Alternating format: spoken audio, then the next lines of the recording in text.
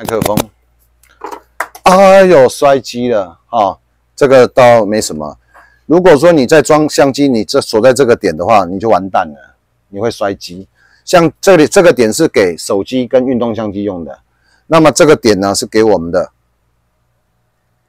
相机用的。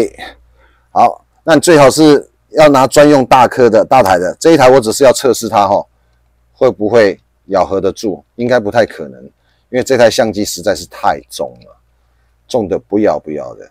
那么超重的情形之下呢，这个云台的咬合力会负担负荷不了。哦，纯粹就是要让你们看一下，负荷不了，敢不给面子呢？它咬得动，他妈不可思议，太不可思议了啊！那么这这个这个这个咬合得住，什么原因呢？只能说优秀的优兰子做出来的东西就真的好的没话说，太厉害了。好，那我们先来瞻仰一下哈，这个是。布面设计，布面呢哈，布面设计好看。然后呢，我们的这个三个冷靴呢，一个是麦克风，一个是灯光，我们都把它考虑进来。啊，等于说我们在直播的作业流程当中呢，啊，还可以有灯光，重点是完全没有穿帮，优秀啊，最优秀的性能表现没有穿帮。好，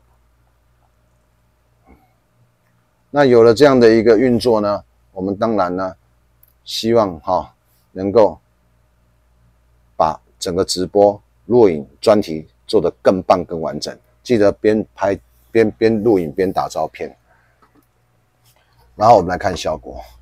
这一只脚架可以买哦，这只脚架真的可以买，很厉害啊，居然有办法咬合得住这么大一台相机哈。那这个避免翻车，这只脚要把它拉开来，不然会翻掉。